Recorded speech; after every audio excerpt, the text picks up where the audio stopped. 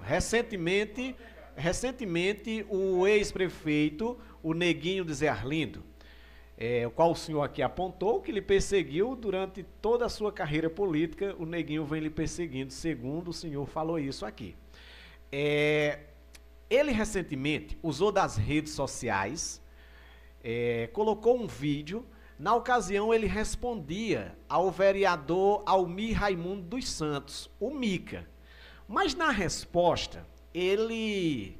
Eu vou aqui tentar é, traduzir o que ele quis dizer no popular. Ele disse que a oposição é, está envergonhada, né? A oposição está envergonhada e humilhada, né? Diante da, das ações já conseguidas pelo ex-prefeito Neguinho e Cedro. E aí ele citou na resposta ao vereador Mica o seguinte: eu consegui determinados com, comprar tantos ônibus e deixei no município.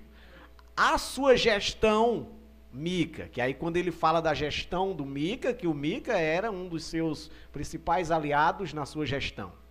A sua gestão não comprou nenhum ônibus, pelo contrário, fez foi vender dois dos que eu deixei aí. Então, se eu se tem algo e alguém que está envergonhado, é a oposição de vocês. É, eu queria que o senhor comentasse sobre este assunto, até porque o senhor era o atual prefeito da época. Olha, Hans, é, é importante lembrar que quando recebi a administração pública do SEDO em 2017, nós recebemos um, um, uma herança de problemas, né? partindo ela de endividamento do município. Eu já disse isso, vou repetir aqui. Quem quiser saber a real verdade disso, vai lá no portal da transparência e olha o relatório final de 2016, onde ali, só de contas a pagar a curto prazo, mais de 3 milhões de reais de endividamento. Todo mundo sabe que nós recebemos, em janeiro de 2017, com a, com os, com a folha de dezembro a pagar. Né? Então, se recebe ali endividamento, mais folha a pagar, mais fundo de previdência falido, uma série de problemas. Se for aqui fracionar, nós vamos passar uma eternidade falando. E sem contar com toda a frota do município totalmente depreciada. Inclusive esses ônibus. Eu estou falando disso para chegar nesses ônibus, nesses ônibus, né? Então eram oito ônibus, aonde alguns não seria mais nem permitido pela justiça, porque o percentual a se gastar ultrapassa o, o valor permitido por lei. Né? Então hoje a gente tem um limite de gasto anualmente para se investir em um, em um transporte público do município, né? que eu não posso gastar além do que aquele, aquele digamos assim, aquele transporte vale hoje como patrimônio. Né? Então, ali, de fato, dois ônibus foram para leilão porque estavam em estado de sucata. Escavadeira, motores batidos, desmontada, em estado de sucata.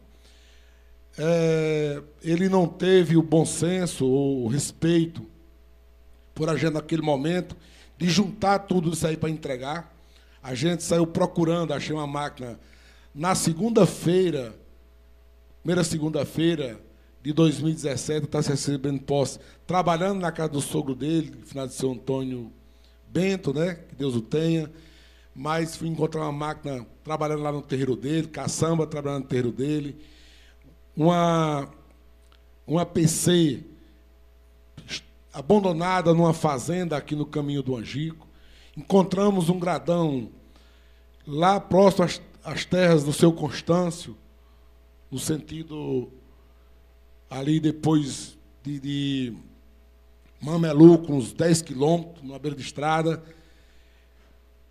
Reboque da prefeitura, só o chassis, tudo isso sem pneus, sem baterias. Né?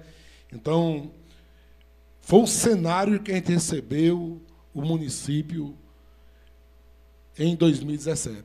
Então, hoje, para ninguém dizer e fazer esse alarme todo, era bom ele lembrar a forma que ele entregou o município e a forma que ele recebeu agora em 2021.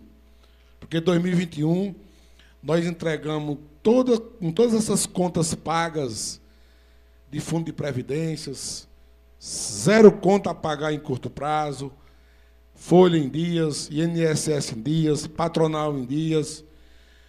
Entreguei a frota do transporte escolar 100% revisada, Hans. Vou até citar aqui: elétrica, manutenção de suspensão, de freio, pneus novos, baterias novas.